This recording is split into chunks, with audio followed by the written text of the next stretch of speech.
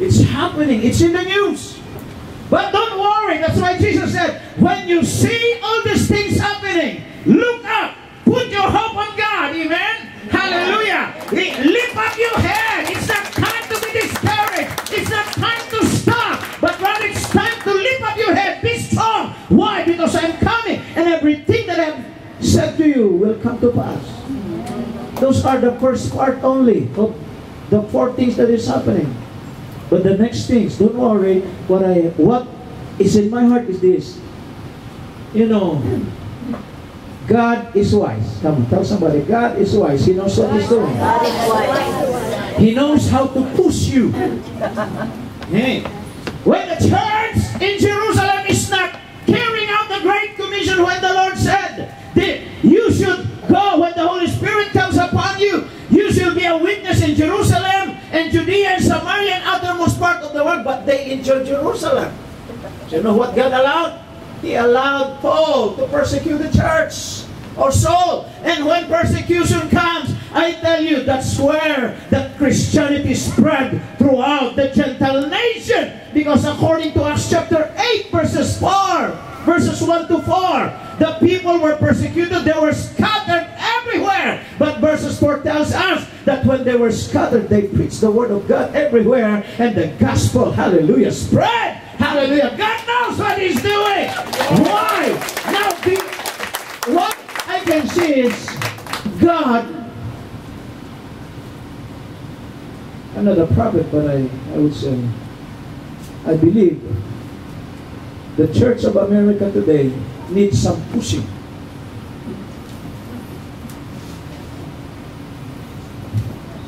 God used America to spread the gospel throughout the whole world. But what is happening in America today? You know it, or I don't, I don't need to elucidate about that. You know what's happening. They're removing your freedom. Everything about Christ. Why is this happening? Don't worry. God knows what He's doing. Amen. Ah, you need some pushing to carry out the Great Commission.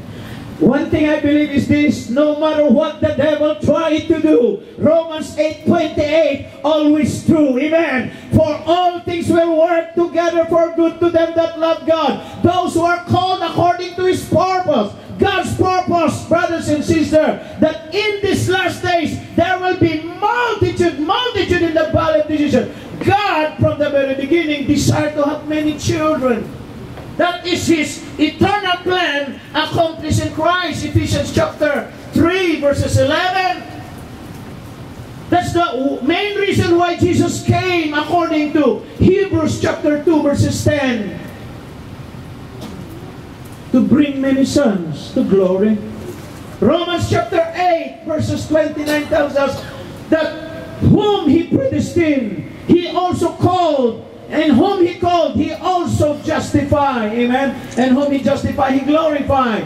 Why? Because He's a plan. Verses 29 tells us, brothers and sisters, He predestined us to be conformed in the image of His Son so that Jesus Christ will be the firstborn among many brethren. He want to have many children. Amen. He started it with Adam and He said in Genesis 1.28, Oh, God blessed them and said, Be fruitful and multiply. It's a year of increase and decade that is your, your theme today. But God has started it with Adam at the time. He said, Be fruitful and multiply. Although Adam and Eve have sinned, but God's plan is consistent. That's why even after the first universal judgment during the time of Noah, but after the flood, Genesis 9 verses 1 tells us that God said, God blessed Noah and his children and said, be fruitful and multiply. And in due course of time, God found a man, his name is Abraham, to, to make this plan a covenant, an everlasting covenant. In other words, covenant is a final, irrevocable commitment. God's commitment to fulfill what He has planned, to have many children, to have many children as the seashore, as like the stars in heaven. That's what he promised to Abraham. Amen. Amen. And it will be fulfilled, he said, in Genesis 22, verses 18, through your seed. all nations will be blessed through your seed. Through your seed. Who is the seed? Galatians 5.16 or 3.16. The seed is none other than Jesus Christ. To have many, God, for Him to have many children in these last days is through the seed, through Jesus Christ. And you are a part of Jesus Christ because we are the body of Jesus Christ. He is the head, we are the body. Jesus Christ can only accomplish His plan in these last days through you and me. Hallelujah. Amen. Amen. But as I look back, why is it that the church is not really moving forward as if because if we look at the first century church in just five or in just one week from the upper room to every room in Jerusalem that is Acts chapter 5 verses 28 or 38 and from Acts chapter 5 up to Acts chapter 16, the reputation of the church is they have already turned their world upside down. And in just two years, from Acts chapter 16 to chapter 19, Apostle Paul said, uh, Luke said that the gospel was preached throughout Asia. And before the end of the first century, literally the whole world was Christianized until the second century.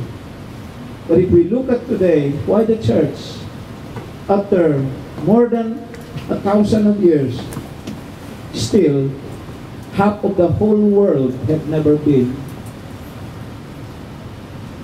have never heard the gospel yet. What's happening? I believe from the past something had happened to the church. It was prophesied in the Bible. Amen?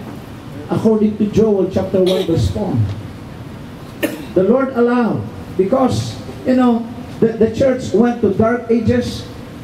It was typically illustrated in Joel chapter 1 verses 4 there are four armies that comes. The it was called the locust and then the palmer worm the canker worm and the caterpillar that destroy the tree.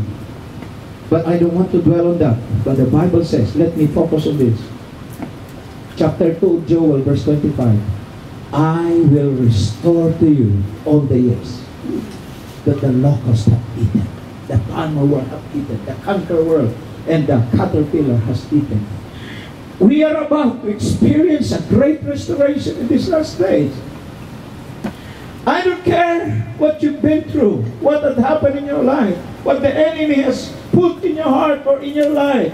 But God is in a process of restoring the church because it the what he said must be fulfilled. He's restoring the church today so that the church will experience the greatest manifestation of the power of God in order for us to bring about the greatest harvest of souls.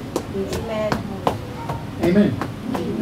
So if you look at Joel, Joel is, is only four or three chapters. But chapter 1 speaks about the downfall of Israel.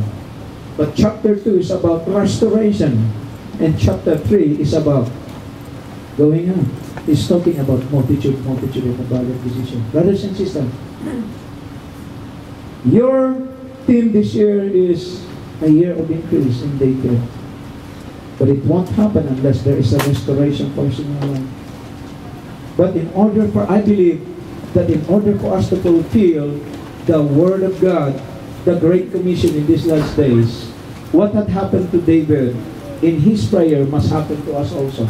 Open your Bible and Psalms 51 verses 10 up to 13. Psalms 51 verses my my focus of message today is about restoration for fruitfulness. Amen. Look at me. God is in the business of restoration.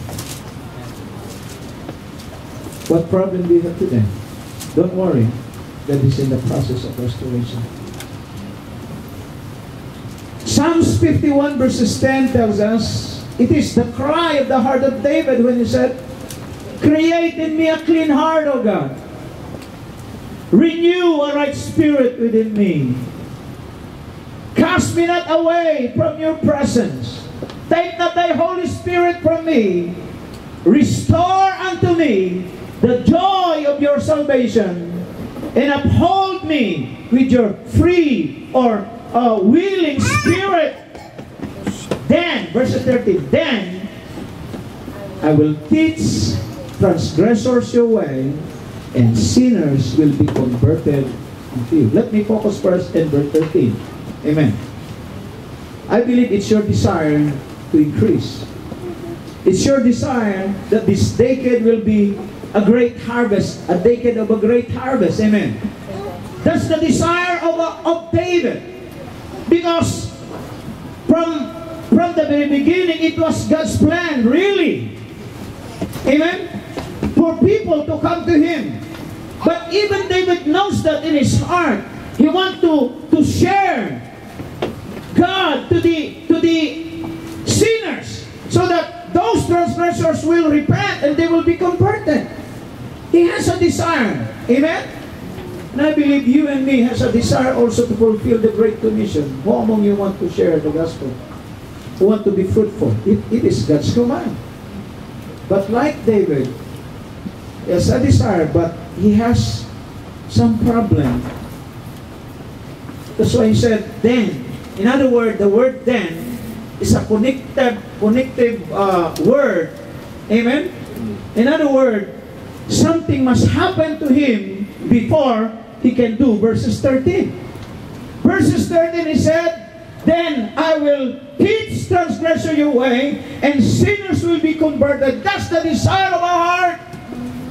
But it will only come to reality when verses 10 and verse up to verse 12 happens to us also. Amen. David prayed for five major things so that he can do verses 13. Verses 13, let me repeat, he said, I will teach your ways to the transgressor and sinners will be converted to you. But before that he said, then, then, in other words, I can only do these things, Lord, when you do these five things to me. Let me just simplify. Lord, I'm willing to be used by you. I'm willing to evangelize. I'm willing to teach your ways to the transgressor. And sinners will be converted